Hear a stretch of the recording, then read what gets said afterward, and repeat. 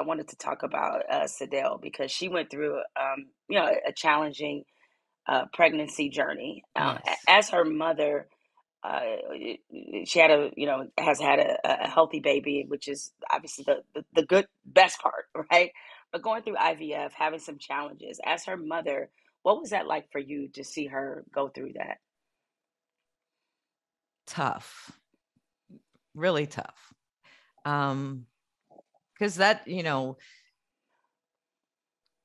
getting pregnant and conceiving especially from my perspective if you looked at me I, I, it was happening. So you know that whole concept that you know something watching my daughter think that something was wrong with her and then looking around and seeing her sister-in-laws just you know having their babies and going why not me?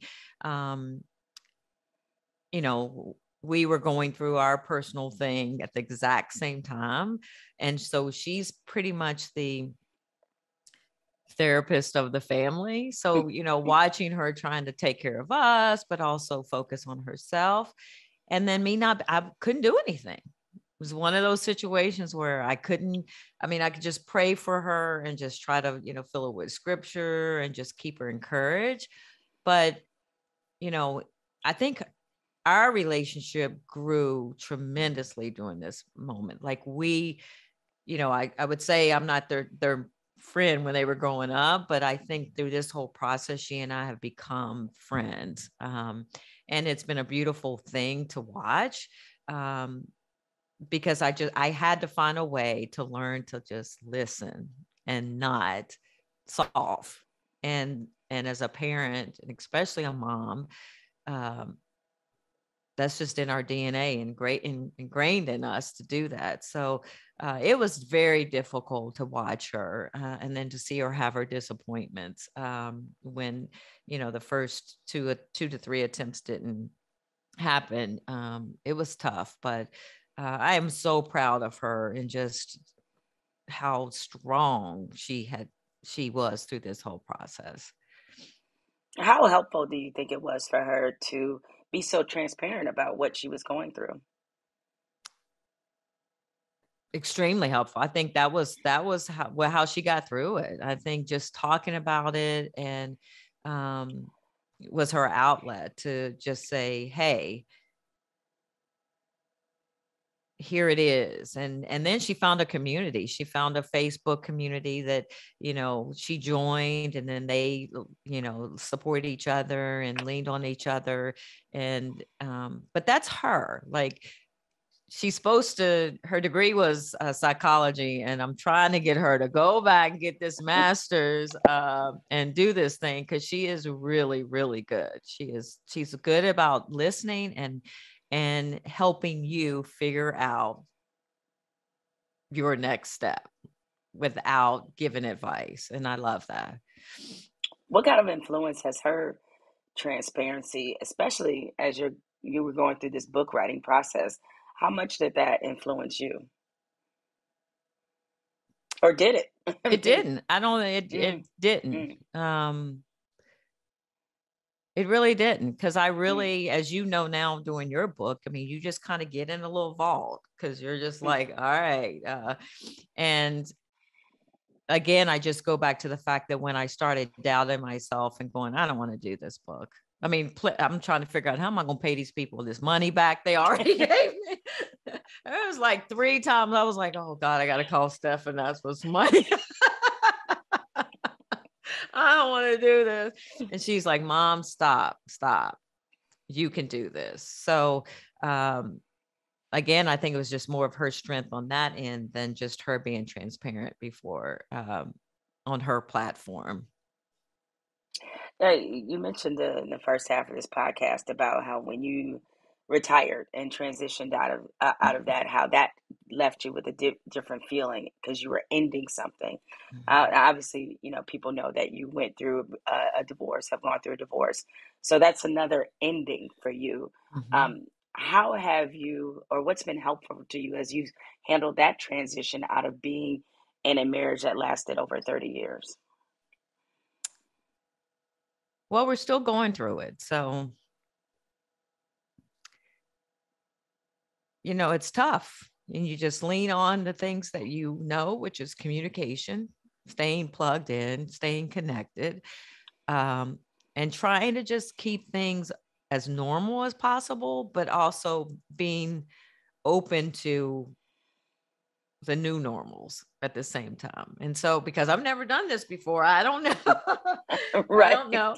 Um, you know, you just wake up every day and you just try to just make the best decision you can that day. And you just lean on love and grace and you wait for the next day. Like you got, I just can't, I don't have the energy or the mental capacity to think further than the next day um, or that day. Um, because you just don't know what's going to come at you and you don't know what emotions are going to come out of you you don't know what interactions are going to trigger in you you just don't have any clue. So you know i've just learned this writing this book and going through all that i'm going through right now we're going through has really just grounded me to just be still mm. and be strong. Um, it's one of Seth's favorite scripture. His favorite uh, scripture is be strong and courageous. And, you know, those are words that I always thought that I was until I started going through this. And then it was like, whoa, this calls for a different kind of strength and a different kind of courage. Uh, and it's not like playing sports or being on the court, it's a whole different kind of um, of situations. So day by day, just Lord, what you got today? and you and you woke me up and you got me here, so it's on you. but but being still though, it, um, is that is that hard to do? Because as you said, you you have a a doer kind of personality. So how challenging is that for you to sit in sometimes things that are you know, discomfort, sit in some chaos maybe a little bit. Very hard, extremely hard.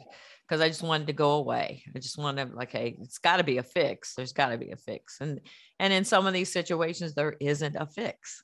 You know, when you're in relationships with people, it's more than it's more than you it's bigger than you so you know there's so many other people and, and characters playing into a moment and a situation so you know sometimes just be still be quiet and let it happen. Just let and you're going to survive. It's like a tornado. You're just sitting in the house and it's just swirling around your house and you're like okay the roof just came off and i'm still sitting in this tub you know like ah and then it goes away. And so you know there's been multiple times where i've just felt like that like ah oh, the roof's come off. Shit i'm just sitting here.